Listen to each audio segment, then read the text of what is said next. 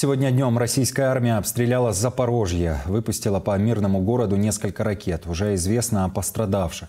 Подробнее о ситуации узнаем у нашего коллеги, журналиста Сергея Вендина. Он сейчас с нами на прямой видеосвязи. Сергей, приветствуем вас.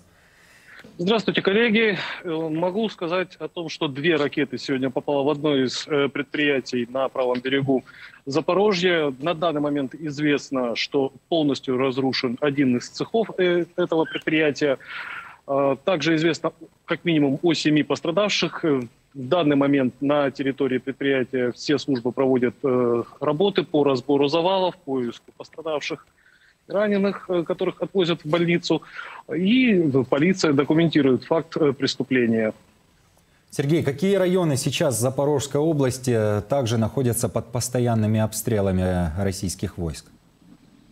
Ну, под обстрелами российских войск постоянно находится вся линия фронта, ее протяженность от Каменского, Степногорск, Орехов, Пологи, Гуляй-Поле – только за вчера э, по всей этой линии было зафиксировано около 60 артобстрелов, как минимум 22 из них это Гуляйпольский район. Э, там было разрушено помещение Центра детского и юношеского творчества. Также известно про попадание в, в объекты э, сельхозпредприятий. Э, и э, это были села Равнополье и Полтавка. И также оккупанты продолжают активно выжигать украинские земли с урожаем. В Гуляйпольском районе за вчера было выжжено 600 гектаров, а в Ореховском 800 гектаров. Сергей, ну и хочется узнать о судьбе людей, которые находятся сейчас на временно оккупированных территориях Запорожской области. Какая ситуация в городах там? А, сегодня э, стало известно о том, что жители Черниговки, это такое небольшое село, в Запорожской области, местная гауляйтерша им объявила у себя в телеграм-канале, что пора паковать чемоданы и ехать в Дагестан. Такая вот принудительная депортация ожидается. А, кроме того, э, оккупационная власть заявляет о том, что привезла на оккупированной территории связь из так называемой ДНР «Феникс», но люди, которые были, э, жили в Донецке, сейчас оказались э, в Бердянске, в Мелитополе, э, у которых есть эти карточки на руках, они говорят, что связи никакой они туда так и не привезли.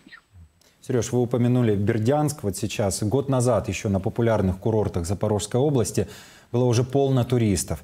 Сейчас отдыхать на пляжах мы понимаем, что опасно. А находятся ли смельчаки, которые рискуют жизнью и идут все-таки к морю? Э, да, такие смельчаки находятся, и эти смельчаки живут в Мелитополе, но их не так много, как можно было бы себе представить. Пляжи все равно находят, э, пустые, не помогают э, низкие цены. В той же самой Кирилловке можно сейчас пожить за 100 гривен в сутки. А в Бердянске самая минимальная такса, которая мне известна, это 500 гривен в сутки. Таких денег у людей, э, которые сейчас проживают на оккупированных территориях, я имею в виду про 500 гривен в сутки, вряд ли кто-то найдет. Э, в Бердянске обещали, что к ним приедут люди. Сейчас устанавливаем связь. Сергей Вендин, журналист из Запорожья, рассказывает о ситуации в Запорожской области, в частности, на популярных запорожских курортах. Еще год назад на их, на, там было полно людей. Сейчас пляжи мы, как видим, пустые. И Сергей говорит о том, что стоимость проживания в сутки от 100 до 500 гривен. Таких денег у людей, которые оказались в оккупации, просто нет. Сергей, э, можете продолжить.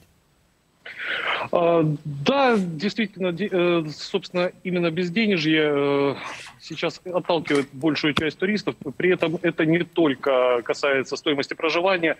Э, стоимость продуктов питания в разы завышенная в том же самом Бердянске, в Мелитополе буквально ну, пакет молока стоит около 100 гривен. То есть мало кто согласится отдыхать э, в таких условиях. Ну, такое ощущение, что это где-то лазурное побережье, где-то далеко-далеко за границей, а не Бердянск. При этом э, уровень комфорта остался прежним. Сергей, спасибо вам большое за информацию. Это был наш коллега, журналист Сергей Вендин, который рассказал о ситуации в Запорожской области.